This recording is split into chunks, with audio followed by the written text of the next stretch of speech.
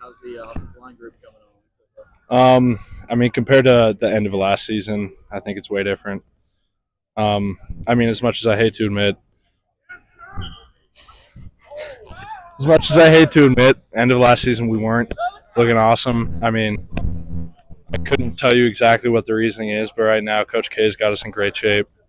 I mean, it's like pretty much all the same guys from last year except Steven Lazoya, the center.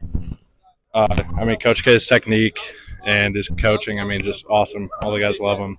So we're happy to have him around, and I think we're looking way better than we did last year.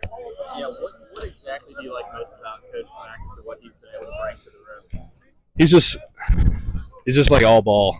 Like when you're in the meeting room, just like tell you exactly what you need to do. No extra, no BS, no nothing. Just he's no nothing else other than exactly what it's telling you. No hidden agendas, no nothing. Yeah, love it.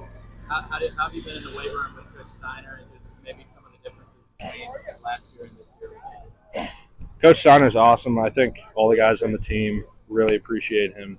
Um, the strength program we've had is just, I mean, it's awesome. It's we're working super hard. I think everyone would agree it's some of the hardest workouts we've ever done, and um, they've got us doing things that we didn't previously do uh, under the old strength program. But I think everyone appreciates it, and um, it's just a great environment in there. Like everyone respects the weight room a lot more, and there's the energy is awesome.